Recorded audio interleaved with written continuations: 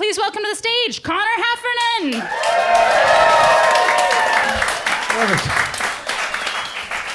Thank you very much. Hi everyone, my name is Conor, and up until about two minutes ago, this seemed like a fantastic idea. but as Jessamine said, I'm currently doing a history PhD at University College Dublin. If arts degrees are a joke, then my PhD is surely the punchline. Except no one is laughing, my parents still don't really understand it, and I'll probably be crying at the end of it. But, oh, that's very sad. But I love it, honestly, I do. You learn so much about life, yourself, and well, obviously the past when you do a history PhD. Just this week, I learned that the first Irish bodybuilding show was in 1901. Last month, I learned that army instructors actually taught PE in schools for roughly about 70 years. And earlier today, what I thought was a good friend of mine told me that the number of jobs for history students with a PhD gets smaller every year. Did you know that last one? I didn't. so, what exactly am I studying? What am I wasting four years on? Well, I'm here to tell you about a very serious, it's a very important topic. And while some researchers, they like to hide their research away from the public, I'm here to tell you that if you want to make money and actually make a difference, you should copy me and study physical culture in Ireland from 1890 to 1939. that wasn't a joke, that's four years of my life. So the humbling laughter suggests that I have a little bit of explaining to do. So physical culture emerged in the late 19th and early 20th century and is largely concerned with bodily cultivation. It is bodybuilding, gymnastics, keep fit, yoga, calisthenics, slimming down, toning up, long before we had those terms. I am, ladies and gentlemen, studying the immortal desire to look better naked. Which is quite a cool thing, I think we can all agree. I mean, just imagine your great grandmother or grandfather looking in the mirror, sucking in their stomachs, grabbing at love handles, and wondering what to do next. God bless my late grandfather, he was still doing that well into his 90s. Sadly, it was always in public. But the impulse or the desire to look at yourself in the mirror and wonder, what in the name of God have you done, largely drives my research. So that's the you know, textbook dictionary definition of physical culture. But how can we understand physical culture in a more intimate sort of way? Well, we're going to conduct a very small experiment. So scientists scoffing at the idea of a historian conducting an experiment, hold your horses. Historians conduct experiments as well. Only there's never a lab, it's never scientific, and it always requires copious amounts of alcohol. now, to do this, I'm going to need just two things. So, one, an enthusiastic audience, which I think we have. Two, a little bit of exercise. Hmm. This is why we're in a problem today, people. So, the thing I love about physical culture is that we can get a real feel for the subject matter that's simply impossible in other forms of history. So, in the interest of method history, as it were, we're going to run through some exercises from the time. Now, these exercises come straight from the playbook of Bernard Macfadden, an eccentric American physical culturist, famed for declaring that weakness is a crime, don't be a criminal. And I, for one, would hate to think of any strength criminals in the audience. So we're going to work out like it's 1899 and we're going to have a hell of a lot of fun doing it. So in the first instance, want everyone place their right hand out like this with the palm facing up. And now join your left palm into your right palm. So, like this. And on the count of three, I want you to push those two hands together as hard as you can. Ready? One, two, three. Fantastic. And now let's move it on to the other side. So left hand out like this. Right palm into left. And again, one, two, three. Push them together. Come on, build the biceps. Come on. Fantastic. And we're nearly done, I promise. So we built we built up the biceps. We're gonna do some jumping jacks as well. It's gonna be amazing.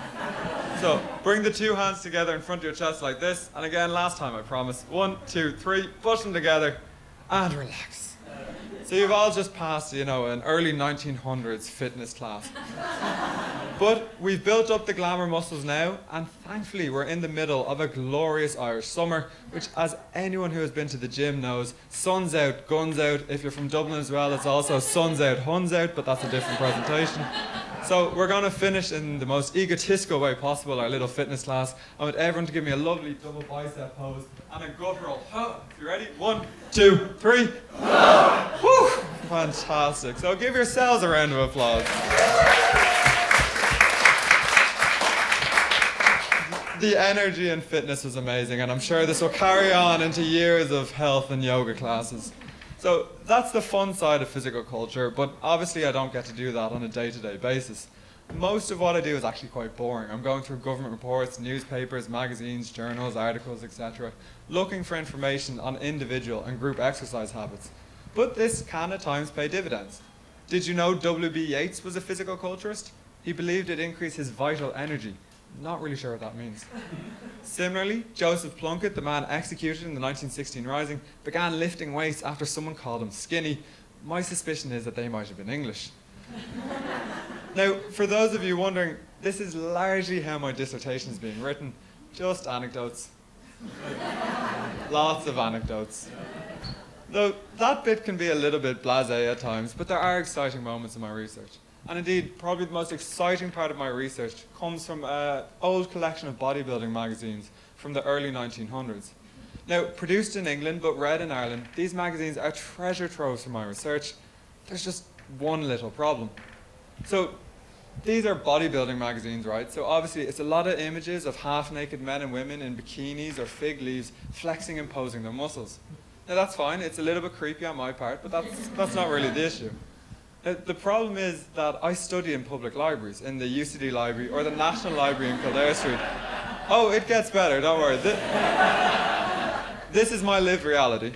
So owing to a back problem, I have to use a standing desk. So whenever I'm looking at these magazines, they're always at head height, where everyone else in the library behind me can see them, meaning that I'm now 90% sure that I'm the library pervert people keep talking about.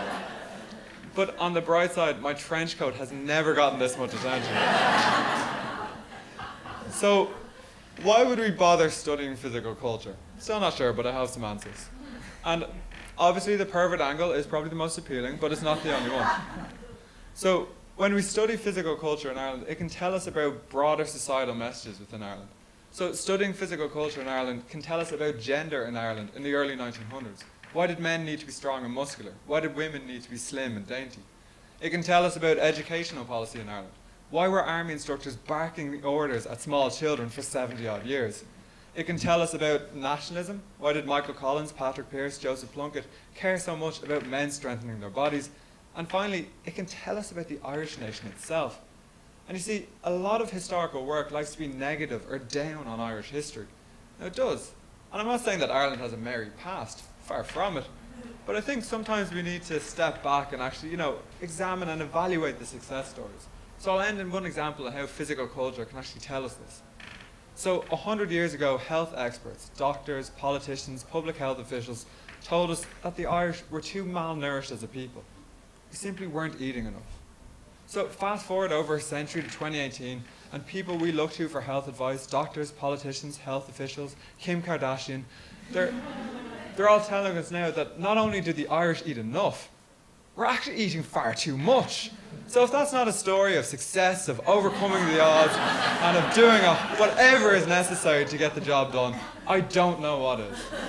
So my name is Conor Heffernan. You've been a fantastic audience. If you want to know any more, I have to plug my website, people. It's my, it's my livelihood. I'm a PhD student take that back 10 seconds. If you want to know any more about me or my research, please feel free to check out my website, physicalculturestudy.com, or talk to the guy in a trench coat in a library near you. Thank you very much.